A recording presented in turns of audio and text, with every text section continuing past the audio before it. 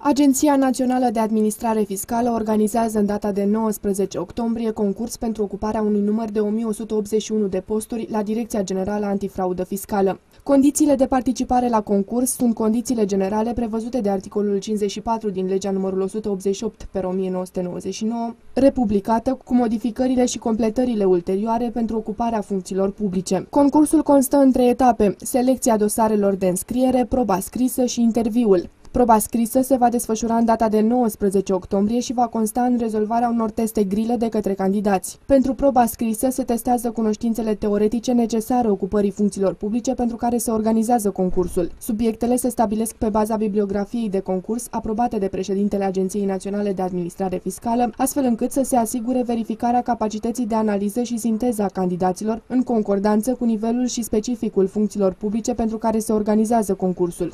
Potențialii candidați pot depune dosarele de înscriere la sediul Direcției Generale a Vămilor din strada Matei Milo numărul 13, sectorul 1 București, în perioada 18 septembrie-2 octombrie 2013, în zilele lucrătoare, între orele 8.30 și 17 de luni până joi și vineri în intervalul orar 8.30-14.30. Mai multe informații puteți obține și accesând site-ul www.anaf.ro, secțiunea anunțuri slash resurse umane slash concurs Direcția Generală Antifraudă fraudă fiscală.